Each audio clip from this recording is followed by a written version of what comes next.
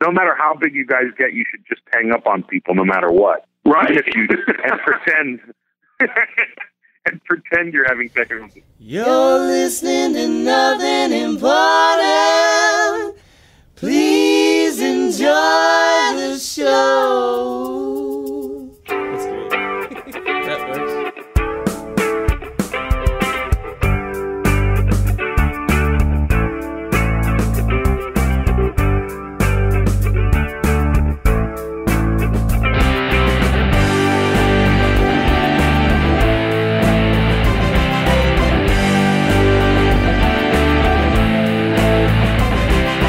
Was clicking around the old Facebook today, Yeah. and I come across this article, and it's like top twenty players to target for your fantasy football team, Mm-hmm, mm-hmm. Sounds homo. and I was like, Sounds homoerotic already. Go for it. well, you know, I love me some fantasy football, and uh, so I click it, and not only is it a very generic, mediocre list of the same top twenty players you'll see in any list of fantasy football players, everything you clicked was an ad. You had to click. You had to click to start it, and that was an ad. You had to click to go to the next page, and that was an ad. All the ads on there have arrows pointing over, so you'll click them to think you're going to the next oh, page. Oh, that's bullshit, dude. This is hyper annoying to me. Yeah, I, I don't know. Those ads are tricky as fuck, dude. Like they're just getting so sneaky with that shit. The, you're talking about the clickbait, right? Yeah, like everything that's like number seven will shock you.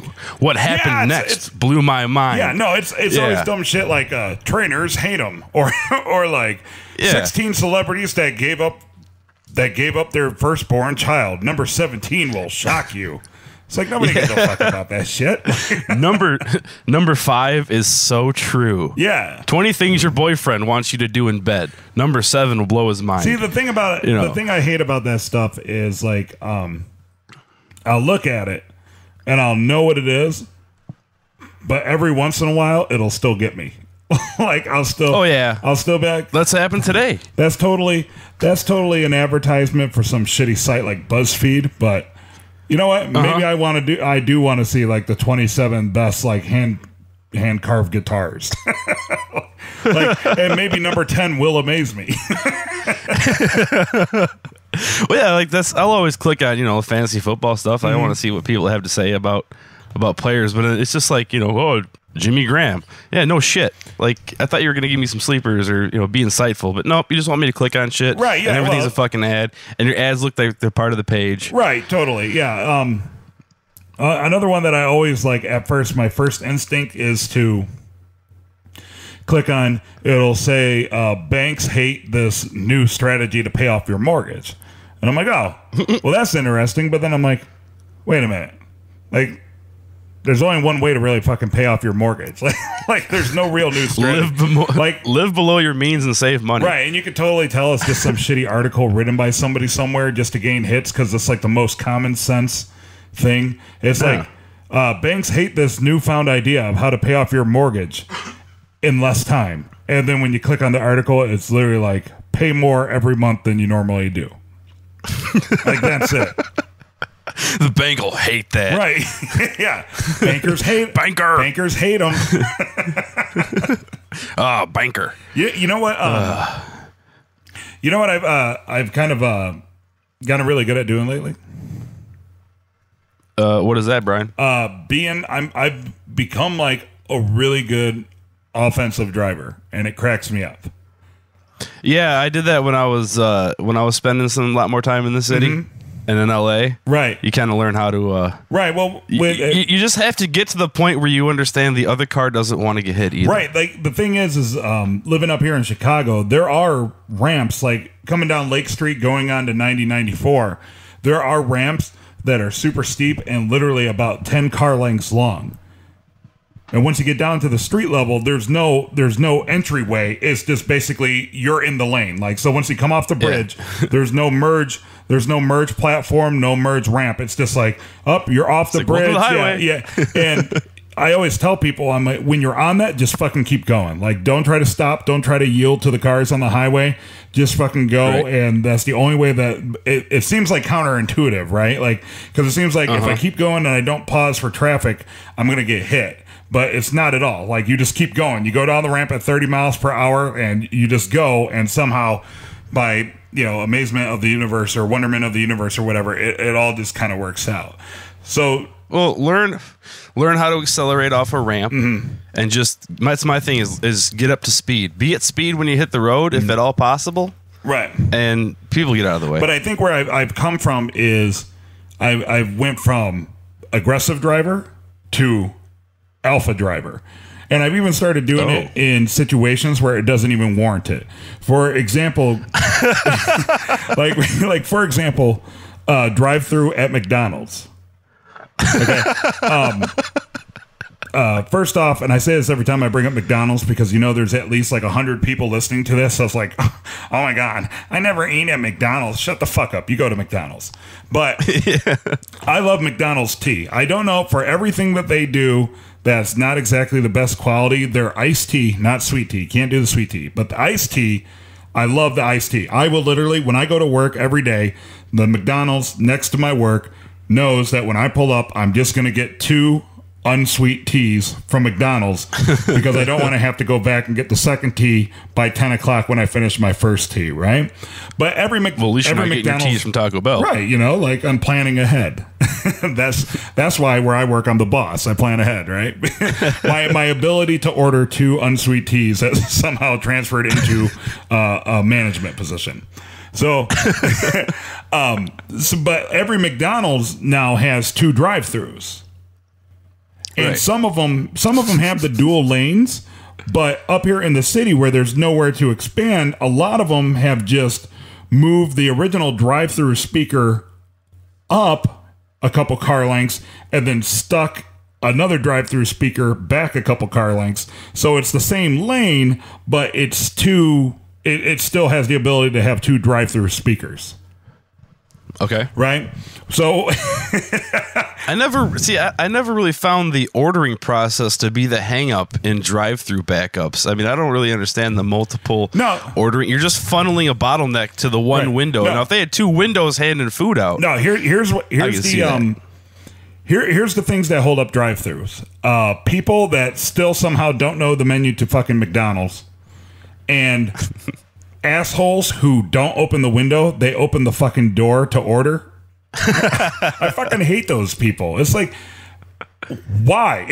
like, just, just fuck. If it's gonna cost you fifty bucks to get your fucking window fixed, like, stop eating at the drive-through for a few minutes. For- I was gonna say, if I have to open my door, I'm getting out of the car. So you might as well just walk in. Dude, that shit happens all the time here in Chicago. I don't know what it is, but people will pull up to the drive-through speaker and they'll, you know, they have to get like a good like five, six feet away so they can open their door.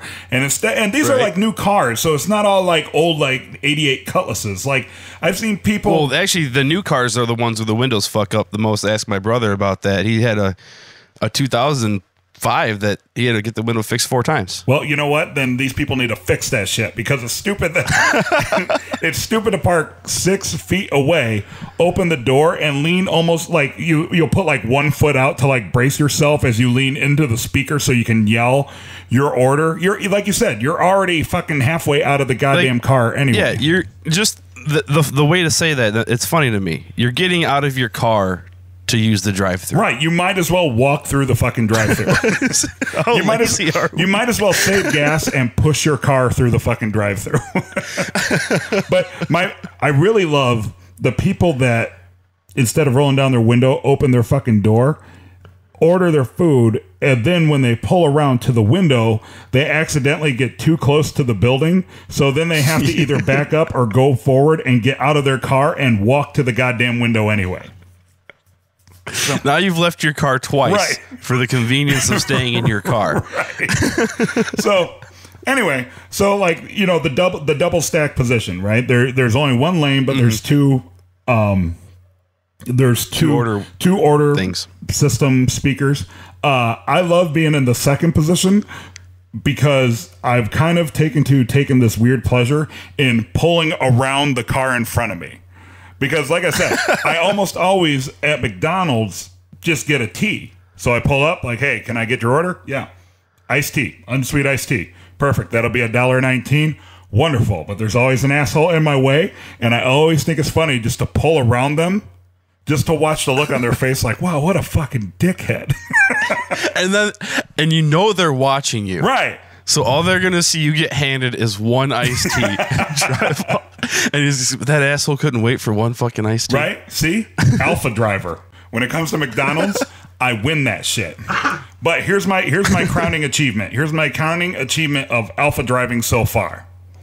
Okay? Shoot. So recently I went to uh, I went to Tennessee. My my dad retired and we had a retirement party down in Tennessee for him. We rented like a giant fucking log cabin. Uh, I'd like to say out in the middle of the wor- woods, but it was like down in like downtown Gatlinburg.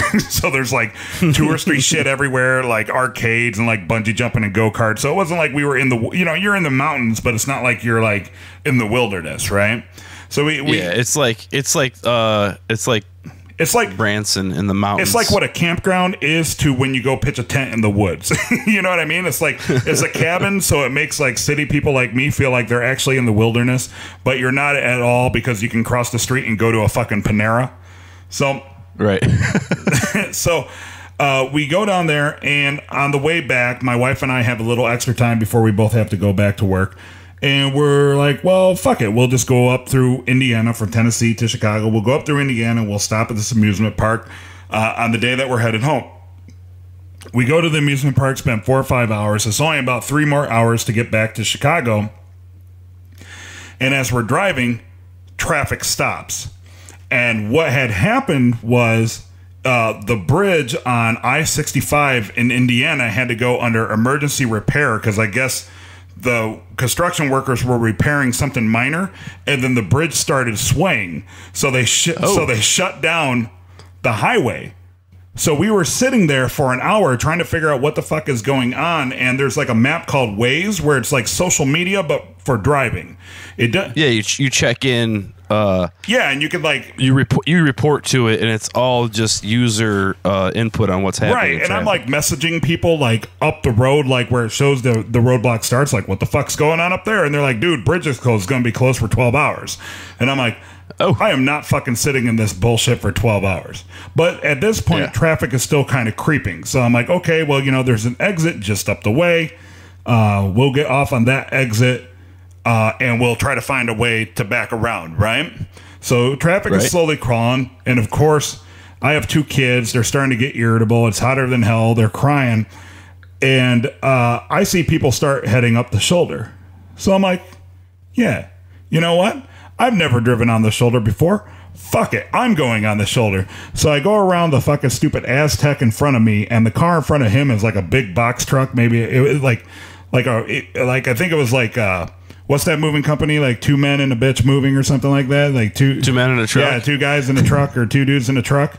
And so that guy's going to be a hero, and he's really going to take a stand. So he pulls all the way over in the shoulder to block me from passing right? And I'm like, okay, well, yeah, fair enough. I, I guess he got me, right? He got me, so whatever. So I pull back into my lane, and now somehow I'm getting separated from him, but he stays in the lane, and now he's blocking the an additional lane of people driving up the shoulder, right? So now on this two lane highway, it's essentially three lanes wide because it's like the two normal lanes and a lane of people on the shoulder uh, stopped by this guy in this box truck.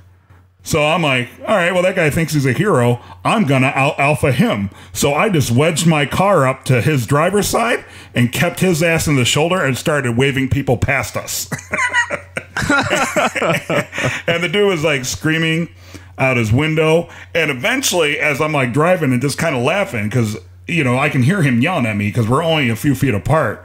Um, Eventually, I look back and he's like 20 cars back. He because he he thought that because he went over and blocked the shoulder that other people were going to be respectful and be like, "Oh, that guy's being a cool guy and not letting anybody cut the line." And then no, it just took a guy like me just to like basically pin him in the shoulder and wave everybody past, so he got screwed over. so, I tried to I tried to be that guy once. But you're that guy that like uh, pulls into the open lanes and I thought about it once. I was uh, I was sitting in traffic, and like three or four cars had passed down the shoulder, and I saw one coming from way back, and I was like, you know what, fuck this. I was like, he can wait like everybody else. So I put like half my car on the shoulder, and then I was like, I kind of bitched out, and I was like, well, you know what, whatever. If he wants to do it, he can yeah, do he it. just wants it more, man. Yeah, it, w- yeah, it was a cop responding to the scene. No. Look at that asshole in his fancy car with his bullshit fancy life. Thinks he's better than me. Well, his lights weren't on. That's why I was just like, thought it was just another car coming up because I'd seen three or four pass. yeah. And uh, no, I almost blocked a cop from getting to the scene, but thank God I stopped myself. Awesome. Um, this episode of Nothing Important is actually also I was thinking kind of like a simulcast. You know how how affiliated TV when something happens they'll do like a simulcast like there'll be some major announcement say like a sports star retiring and ESPN and ABC Like the- since they're both owned by Disney they'll like simulcast the news conference. That's kind of what we're doing with uh, this week's episode of It's All Good Men and Nothing Important. that is exactly what we're doing Right, because if you think about it, like, Man, right, there will probably be on Nothing Important, there will be like the Nothing Important theme song, and then probably a conversation and probably this explaining it. And then we're going Mm-hmm. right into the interview with Mel Rodriguez. Right. He was a super cool dude. He was Awesome guy, right? Like, uh, a very, very, very cool dude. Yeah. Yeah, he's on. Uh, he plays Todd on Last Man on Earth, and he played Marco in Better Call Saul. And he was cool enough to come on our show uh, through a courtesy to It's All Good Men, which is our other podcast. So if you haven't heard it, www.itsallgoodmen.com. It's also available on iTunes. Uh, make sure that you check it out because awesome conversation. He played a really small. Small part, but like such It was a small yet, but a very, very influential part, integral. yeah, it part was like a small part, but a super large character. Yeah, It- and he's got fans. There's fans of the character. yeah, he's got his own thing going on. So I hope he, um, I hope he returns for uh, Better Call Saul season two. So, so stick around after uh, Dave's book of things he doesn't care about, and uh, it'll be our chat with Mel Rodriguez from Better Call Saul and The Last Man on Earth. I was gonna say maybe I can patch this in. I, I thought it was awesome that uh, you put me in charge of the phone call for the first time, Yeah. and I failed pretty miserably. Well, no, you didn't. You Well, the first thing was uh, I run my phone through the computer and I listened to everything on the phone through my headphones. I had the headphones in the wrong port, so every time I went to listen when he was calling, I couldn't hear anything. So I had to hang up on him. And uh, when he first called, I wasn't quite ready yet. And he said that those difficulties and the hanging up and stuff was actually kind of what made it a good interview because it takes all like the pretentiousness out of it Well- or the uh, seriousness out Well, of it. I, I think I could totally see that because one thing I never wanted to do. Well, when we started this, we didn't think nothing important. First off, would ever have any real guest on it besides our friends. Remember how Right. excited I was when I called you that uh, Greg Johnson, the uh, co-creator of ToeJam and Earl, agreed to be on our show? Oh yeah, yeah. Well, I, I was excited just because one, it was a guest that wasn't going to be one of our friends, and two, he's just a really kick-ass dude and created a really fucking awesome game that I still love to this day. Here, twenty years later, you know what I mean? right. He's somebody that you respect. Right. Yeah. So I mean that that was kind of fun. Uh, but as we go through it and we're we're interviewing, you know, like like famous people and celebrities and just like entrepreneurs and like all these cool people. One thing one thing I'm I don't want to happen is like it becomes just me peppering them with questions like I was Barbara Walters or some shit. Like I find that so lame. Like Yeah, like have you seen? Uh, I was telling you about uh, Chronicon, episode four twenty. yeah, you were saying something uh, about Doug it, yeah. Benson. So he's in a hotel, and he, on Twitter, this guy is like, "Hey, I'm in your hotel. I do a podcast. Do you want to stop by for a quick interview?" And he's like, "Well, the cameras are rolling, so let's do it." Mm-hmm. And so he goes. This guy's is actually a different hotel, but he ends up in the guy's room. He doesn't know the guy. He's just okay, spontaneously do a podcast, and he just he's asking all the standard bullshit questions Yeah. you know, and, and you could tell it was like a very kind of awkward interview. Yeah, yeah. But we we just want to talk to we just want to have conversations. Yeah, like like my process is is I have like key points that I want to hit, but other than that, I don't write questions at all. I spend more time watching the time to respect the time that our guests have agreed to give us than I do Right, yeah. reading actual questions. Right. Like on my computer, you would just see like a bullet list of maybe four or five things. And uh, other than that, I, I just go off the top of my head and just try to keep up a good conversation because uh, I'm, I'm not fucking Barbara Walters. You know, I understand that I'm a podcaster. You know, like we're, we're two nobodies who do this for absolutely free. It's not like it's Right. not like we're creating some sort of production package for like a current affair or anything like that. right. You know, and we're just trying to be a vehicle for people that we think are are cool and respect to get their shit out to our uh, uh, mediocre fan base. Yeah. hey, like I said, you know, I only talk to people that you or I give a shit about. I wouldn't talk to Brad Pitt because I don't give a fuck about Brad Pitt. I really couldn't even imagine. I actually, I would talk to Brad Pitt though. You always mention Brad Pitt, but he's one of those actors that I think's done enough cool shit to talk about. I only. Not the, not the heartthrob leading man, but he does like kooky side shit too, which is pretty. cool. I think I only mention Brad Pitt because I'm so far out of the loop on most things. He's the only like big time actor that comes to my head when I think of somebody who would be universally famous. Like he's the first one that pops in. plus, I'm still bi- he's Brad Pitt, man. plus I'm still bitter about World War Z. Maybe we can do an episode about that another time. It's not a good movie. Oh, it's awesome. Um, it, it would be awesome if it wasn't World War Z. Like, have you read the book? No, see, you know these things, Walking Dead, stuff like that. You know the book though. It, it's not even like they strayed away from the source material. The book isn't the story of one guy surviving the apocalypse. It's a history book, so it's like a fictional history book with interviews and military documents from the survivors that was written after. It's, it's basically So, the oral history. You're saying they sh- You're saying that they should have got Ken Burns to do World War Z. I don't know who Ken Burns is.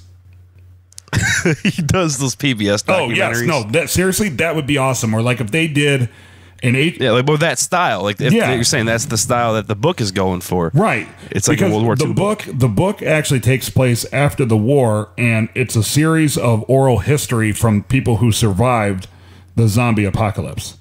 So like every chapter is another person's story and how they survived, and then it's all That's cool. It's all loosely tied together with how it started and how it ended, right?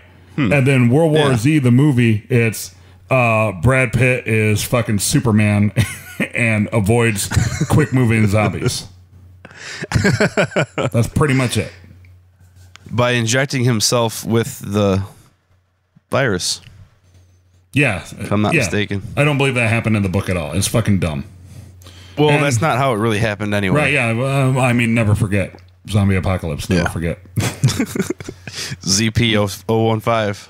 Do you? And now, an excerpt from the Book of Things Dave Doesn't Care About. Anything any political candidate has to say about anything until they actually take office and start doing things. This was an excerpt from the Book of Things Dave Doesn't Care About. You're listening to Nothing Important. Oh god. Yeah, see, I would have never figured that out. Yeah, I, it's Well, uh, it's it's been smooth so far. With, with your with technical stuff at all, I commend you. Oh, thank you. Yeah, I actually went to school for this stuff, so Oh, right on. Well, you, you know what? You know what, Mel? This is actually par for the course because if Yeah. there's if there's one thing we do almost every episode is hang up on the person who's our guest. That's great. Yeah. we have, we have literally hung up on just about everybody from like uh like Bald Brian to Patrick Fabian. We have literally hung up on every single guest trying to figure out how to make it work. Well, yeah, they're all very nice people. I'm sure they understood. oh, absolutely. yeah. yeah. it's been it's been a real treat. Yeah, Yeah, and So- so that had something to the sauce, right? yeah, exactly. well, well we, yeah. We we won't keep you too long, but we'll we'll just jump into it and uh, and have some fun. And if you don't mind, I actually have some questions from the uh, Better Call Saul subreddit. Oh, okay, cool. All right. Well, uh, ladies and gentlemen, on the Someone Important Hotline, he plays uh, Jimmy McGill's buddy Marco on Better Call Saul and is currently playing Todd on Fox's uh, The Last Man on Earth. Mel Rodriguez. Mel, thank you for coming on our little uh, podcast experiment. Oh, it, it, it's my pleasure, guys. Absolutely. So it's good to be here. we're, we're so glad to have you. I, I got to be honest. Uh, uh, somehow, uh, early on when we first started, it's All Good Men. I would always complain because we only had like 50, 50 Twitter followers, and now we have like eleven thousand or something like that. And I, I, was scrolling down and I saw, I saw uh, you, and I'm like, oh my god, I'm I'm totally going to direct message him. Yeah, I saw that. I was like, wow, this is great. Yeah, no, and and and what was it few days ago? Yeah, you we uh we got to talking on on the direct message, and I, I still don't know how that works. I'm still trying to figure out Twitter. But I got your message, and you were like, "Would you like to come on?" And I was like, "Yeah, sure, let's do it." Absolutely. Well, we're we're glad to have you. Dave and I are big fans of uh, of Better Call Saul, and uh, the beauty of your character Marco is you you've played it so well, and you've made such a huge impact for having relatively limited screen time on that show. Oh, thank you, man. Yeah, you know, I I I, um, I was really excited to get that call that I got. You know, just uh, to have been part of uh, Saul's journey, you know, and, and becoming who the guy he became. You know, part of his character development was just so cool. You know, I remember telling my wife, like, you know, because it was super secret, so I couldn't tell anybody anything about anything really. And uh, I remember reading the scripts and telling uh, my wife, like, I'm the reason Saul wears his pinky ring, you know. yeah. and uh, that's my pinky ring. I gave it to him. You know, he, he gets it from me, and I just thought that was was really really cool. I, I love the way they're, you know, developing Saul and letting us know he was such an interesting character in in, in Breaking Bad, and just Absolutely. to see him become, you know, what we get to to see why he becomes the guy he becomes is really cool. Right, and and now you're you're such a huge part of that. Was it was it weird? Uh, was it weird for you knowing that like you would have really limited screen time, but like it, but you're such an integral part of the story? Like, did that put any pressure on you to perform, or or? Uh, well, you know, I I found out I had gotten cast. I think maybe a week before we actually started shooting. So Oh uh, wow. and and and I didn't have really much information at all, except that I was a really big fan of uh, Breaking Bad, so I'd seen that like twice. Mhm. And um, but I, you know, I got these scripts about a week before, and I knew he was from Cicero, and I thought, man, I've got to do, you know, he's got to have a Cicero accent. I, and I, I did, I, I'd never done Cicero before, but I had kind of played around with Chicago a little bit hmm Mhm. and they, you know, and so, um, you know, I, I wanted it to be authentic, and so I called up a couple of friends. I, like I was telling you earlier, my dad lived in Hammond, and we used to go to Chicago all the time. So, um, and then and then Bob helped me with that too. Um, but it was just, it felt like you know, we really we really crammed a lot into um, that that that small amount of time that we did have. You know. Um, and I just, you know, I I love these guys and respect them so much. I just I just really knew I had to bring my, you know, my A game. So I did my best. Yeah, and, and you know, you totally did. the The great thing about your character is, uh, you know, uh, part of the fun of of uh, Better Call Saul is that we we know how it ends up, and so like. Right, yeah. So, Yeah. so uh, Dave and I, we always push our, our podcast as uh, we're we're not like the analytical, let's analyze everything. We're kind of like everybody's buddy on the couch, where we just like to give like you know theories off the top of our heads and such. And I I, I remember when we saw when we saw your character, we're like, oh man, we, you know this is awesome. Like this, this guy's kick ass, and they're doing the flashbacks. There's gonna there's gonna be more. Uh, shenanigans, I guess you, you could say Yeah. this guy, and then uh, no, they really gave us kind of all we needed, but we wanted more. Oh yeah, me too, man. I I'll tell you, I we, we um um it was just such a good it was such a good time, and uh and you know we shoot all that stuff out there in Albuquerque, and those guys are so. I mean, I just can't tell you. Like I, I've worked with a lot of crews, and they're just they're just a they're they're just this incredibly well oiled machine, you know, um, just all around, and so it was just really really cool to be a part of. Um, and to be a part of like I mean I really like you know Breaking Bad was one of my favorite shows. That uh, you know Saul was one of my favorite characters. Mhm. I, when I heard this television show was happening, just as a fan, I was thrilled. So to get the gig was just like you know, It's And, been uh, a it's been a pretty common sentiment amongst our interviews is that for one, like everybody was a fan of the show, and then you know got on Yeah. Better Call Saul, and everybody really appreciates the uh, the production and how the crew runs and, and the way they do things, the way the auditions are run seems to be a little Yeah. different, and and like It- everybody's got great stories Yeah. about it. It is, yeah. You know, going into the audition, they didn't. We, we, we I didn't even get. You know, usually you'll get copy, and they're very, very. They were very, very secretive about this copy. They were like all watermarked with your name, and uh, they they had all these like codes on them, so that you know you couldn't copy it. And, like you know, once you got the email, like self destructed and all this stuff. and um, I mean, really, they were really, really uh, um, careful about about uh, you know uh, get leaking stuff. Um, and then I actually ended up finding out that the sides we got for the audition weren't even part of the show. They read very much kind of like a, um, almost like uh, I don't know if you guys are familiar with David Mamet's uh, American Buffalo, that play. No, Um, but they took place in like a pawn shop, and they were, you know, it had to do with this coin dealer and these two guys being kind of like, you know, um, on the hustle. But it wasn't, you know, it, it wasn't, nec- you know, it wasn't necessarily Marco, and it was completely different. It was just a scene, you know. Was it- was it- from that? What's that? I'm I'm sorry, I didn't mean to cut you off. Was it similar to to like the coin scene in the second episode where where they were? Uh, It was a little of that, but they weren't even, you know, they weren't in a bar doing pulling pulling that hustle there. They they weren't Mhm. they weren't uh, you know they were they were in a pawn shop, you know. yeah, So you know they didn't want I didn't they didn't want to give anything away, you know. Um, and so that bar scene, by, by the way, that bar scene was just one of the most fun. We were at this old kind of German bar in in uh, in uh, it looked very very Chicago actually. In in the middle Albuquerque, and we were in that we were in that bar doing that coin scene for God. I think we were in there for four days. yeah. oh wow, we were we, Dave and I kind of laughed about that too. We where we're from, we have a bar. Uh, I'm I'm not gonna say the name because I, I personally don't really care for the guy, but totally totally totally a bar where uh, it's it's all like just an obnoxious number of fluorescent beer advertisements and paneling all over the walls. Totally. yeah, yeah. I mean that's that's you know absolutely. so the attention to detail was perfect. drinking old style, which was pretty like they were Oh, yeah. pretty yeah yeah yeah. So we were like um keeping that they are very true to keeping it true, you know. Absolutely, we we really love the the first scene. Uh, two things stuck about us, uh, stuck out with us with the uh, first scene where, um, where where you guys pulled the first uh, scam on uh on uh Stewie.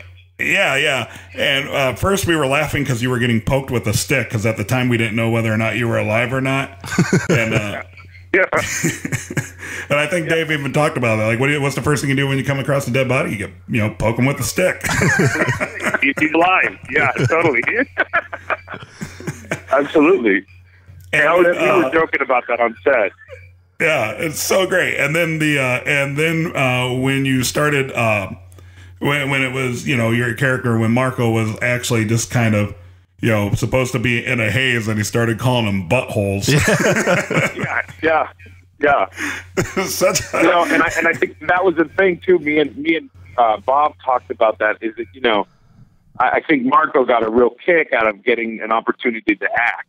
You know what I mean? uh-huh. Mhm. Like yeah, you know, these guys. Um, it was so much fun, man, because it, they really they go back. They're best buddies, and I feel like you know, on some level, obviously not like hustling like they did, but I had you know friends that we pull pranks and stuff like that, and like just afterwards, like sit down and kind of reminisce about like this and that. And I think the two of them were just, you know, Marco especially was really proud that they were able to to pull that that that scam off. You know. yeah, ab- absolutely. And it's- I, I, Yeah, too. It's like you know, I mean, a lot a lot has to go right for that scam to work. right. You know, if you think about it, you dissect it and stuff. And and I remember uh, talking with Peter Peter Gould, like you know, what if the dude doesn't see the cash on the floor? You know what I mean? What if he misses seeing my legs? You know what I mean? Mhm. The guy, you know, like a, really a lot has to go right for that thing to go right. You know? Totally. It, it, it, it was so well played. I was, I almost made it my mission. I, I almost made it my mission for like two weeks after to, to bring back butthole because like like you know after after you get out of like eighth grade you know like you graduate to like asshole or cocksucker or something like that Yeah. And Yeah. like, you know what like people don't call each other buttholes enough you know No, so, like no, you know, no, they really don't. No, and I, I, I feel, I feel kind of grateful that we were able to kind of bring that back in a way. I, and I remember the next day. It's funny with Twitter, you get, as you guys know, like you'll do your show and probably get responses immediately on Twitter. And right butthole was hashtag butthole was all over Twitter. Actually, I was I was kind of teasing. Um, I was kind of teasing the fact that we were going to record with you today, and I wanted to put on Twitter like, "Hey, you buttholes, recording with a special guest, new show coming soon." but then I'm like, no, it's gonna ruin it's gonna ruin the surprise because you because like yeah, you know, yeah, yeah. They'll, yeah, they'll be like, "Oh, right, the butthole guy." Yeah, right, yeah, and I and it's funny. I've actually uh, I've actually been uh, approached on the street and said, "You're the butthole guy." like Seinfeld, and you're the ass man. Yeah, you're the asshole. Yeah, Well, you know, I- So- I think I think it's just a testament to how you played the character because uh, what works so well is, I mean, it, it at its base, I mean, it's a really funny scene with a lot of you know like the poking with the stick and and the totally immature use of pejoratives and stuff like that. But like with with the tone and the kind of juvenile humor of it all, and it, it like it, is just such such a great scene, and I think that's why a lot of people uh you know really kind of fell in love with the character because like everybody has you know everybody has a buddy like that where like even when you're even the most serious moments you're or you know you're you're still have these stupid little inside jokes or you know if you're trying to pull something you'll you'll do something just to kind of aggravate your buddy a little bit even when it's inappropriate and like absolutely. i mean hell me and dave have made two podcasts based around that thing Yeah, I mean, sure. I mean, that's you know, and I think that's the thing. I think that's kind of which I was really proud and honored to be able to do was you know. uh is that you know I'm I'm kind of one of those guys in the story that is you know Marco's one of these guys in the story that's responsible for you know uh, uh, Saul kind of from becoming like a kid to becoming a man you know Right. in a lot of ways he's that kind of transition point and um and then you know and him making that decision to you know it, it, it's it's interesting what I, I I love that about Vincent and, and Peter is that they really they're they're really into these character driven stories and what um you know what it what what what a man is made of you know man or woman is made of really Right. you know and um and we really get an opportunity to see that with with Saul um you know I, I was I was talking to somebody earlier like I think if um I think if the Godfather were around today and Francis Ford Coppola was doing that he might do it on Netflix or AMC or something nowadays. You know we get an opportunity to have an entire season about you know Sonny Corleone which would have been fucking awesome you know? Right, yeah. sorry excuse my language. No, no. Oh, you can say whatever you want. Yeah or, that's or, cool. you know, or or you you get an opportunity to see like all these great characters like uh who's that character uh um who I love so much he shows up and is talking to Marlon Brando uh Luke Brott you know oh yeah lucas the whole season about Luca Brasi, where he sleeps and what he's about, like what made him become a killer, and you know what what these things that make people tick. And Mhm. that's the really great thing about these guys is they write so dimensional, you know, totally Right. Well, and their so that their show, like the whole Yeah. point of every show that they're the Breaking Bad and Better Call Saul, the character development is the show. Like they're Breaking It- Bad. absolutely, Yeah. absolutely, and it's those are the those are the things I grew up watching, and they're happening on TV, and they're these big like twenty course meals now rather than just a snack. Not that The Godfather was a snack at all; that was a meal, you know. hmm Um, but then you know there are all these other, you know, chapters, which is just so cool. You know, I mean, it really is like you're like you've had just the right amount. Like you get a script like that, and it's like all you got to do is dance. It's like you've got the greatest amount. You've got the perfect amount of booze in your system, and your favorite song comes on, and Yeah. and you just Right. you know exactly what to do. You know, instinct takes over. So right you know the I, I totally know how you feel. You know, I get like six or seven beers in me, and if uh, "Hold On" by Wilson Phillips comes on at the bar, I am rocking that shit out. Wilson Phillips. It's time to get on that dance floor, dude. right on, Dave. Dave will attest. Dave. Uh, yeah, you're the reason I know how to play that song on guitar. Yeah. Oh God. Well, kind of touching on that that note, Mel, I'm going to start with a couple of, of of questions from the folks over at the subreddit for Better Call Saul, if you don't mind. Sure, let's do it. Okay, awesome. Uh, MJ Fleck says, "How bittersweet was it to be able to play such a great character, knowing that his time on the show had to be limited?" In, incredibly bittersweet, you know, and and and and I and and we all. It's funny because um, we had such a good time that the, the running joke on set was, uh, you know, how how, how they, these guys can write themselves out of anything. You know, how could they possibly maybe even write themselves out of Marco being dead? Right, yeah, it's the long con. yeah, right. It's the long, long con. Yeah, absolutely. So it it was incredible. You know, I knew, you know, I've got I've got basically you know a couple episodes and that's it. But so it was just a matter of kind of just cherishing it for what it is. And if Marco does, um, you know, come back at some point, that'll just be uh, you know extra gravy. You know, It's not entirely impossible since I mean the whole show was technically a flashback, but Marco's story is all told in Right. flashback, so they can jump around. Yeah. Oh, yeah. No, it it totally could happen, and that and that would be really great. You know, so we we we could uh, uh we talked about that on the on the uh, uh Better Call Saul podcast where they were uh where they were that other what's that podcast that the guys do? I forgot what it's is it called Better Call Saul or is it? yeah, Better Call Saul Insider. Yeah. Yeah, it, that's right. And, and and Vince and Peter were on. and They said, you know, we you know we really want to have you back. They obviously aren't going to say anything, but Mhm. you know, I mean, you know, you remember in Breaking Bad, those situations they write themselves out of. They're the kings of that. So, um, you never know. Yeah. You never know. Right. Yeah, and, and he certainly could appear again in a flashback. So, absolutely. Reddit user Edgar Devine kind of brings that up. Uh, they say, you know, do you think we'll see any more of Marco in in any more flashbacks?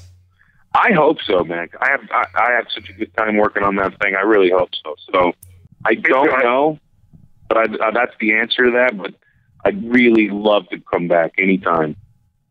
Yeah, um, you know, I, I, I think pretty much everybody everybody would welcome it. Like I said, it, I mean, it was such in the grand scheme of the 13 episodes of the first season, it was such a limited amount of of screen time, but it was just one of those things. Like as soon as as soon as you were on and you played your parts, everybody is like, "Oh, that guy's that guy's fucking awesome." like we, we need we need well, more ask Marco. for it. You know, I mean, those you know, ask for it if you want. You know, uh, tell people ask for more. I'll, I'll be there. I promise. We'll start a camp- well, Twitter campaign. We'll, Yeah, we'll do the best. we'll do the best we can. Um, Right. Becca, Becca, Becca Orla, I think her screen name is, or his screen name is, uh, says Okay. uh, he wanted to let you know that you did a brilliant job as Marco, and he was a brilliant character, and uh, and they would like you to explain what a dry standpipe is. like standpipe. Well, you know, we were looking into that, and I think the standpipe is actually the one that sticks up and actually shoots the water. Like, um, it's got a. From what I understand, you know, is is it's it's it literally looks kind of like a pipe coming out of the ground rather than what you see with the hydrants. You know what I mean? Yeah, I- um, I, you've uh, seen those before, haven't you? Actually, in my, in my professional life, I actually have to deal with them and took some some training on them. So, so I actually some light on it. What what? So is that what a standpipe is? Those pipes that kind of stick out of the ground that Yeah, absolutely. When, when you have high rise buildings or like multi tiered bu- buildings, the standpipe is where there's an alternate water source for the fire supply should something happen to the main water source. So it like supplies, it calls it a standpipe because it, it goes upright through the middle of the building and it supplies it supplies water to the main uh, fire extinguishers and such. Boom. Boom. Nailed it. there you go. That's it. Yeah, yeah. That's what that's what we had heard. I got you said it better than I could. And then uh, Mel, the most important question is, uh, what is your favorite frozen pizza? My favorite frozen pizza. Oh, geez. Uh, let's see. You know, I, I could go for a Red Baron sometimes. Just kind of Right on. Okay. be simple, you know, or a, to- a, a tombstone.